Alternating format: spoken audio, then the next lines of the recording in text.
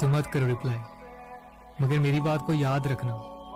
जिस दिन मैं मर जाऊँगा ना, उस दिन से ना मैं तुम्हें कभी ऑनलाइन नज़र आऊँगा, न कभी तुम्हें मेरा मैसेज आएगा। फिर तुम मेरे रिप्लाई का इंतज़ार करोगे।